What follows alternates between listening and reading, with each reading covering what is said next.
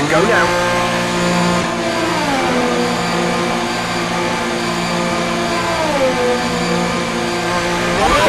One more stop today, one stop left in our strategy.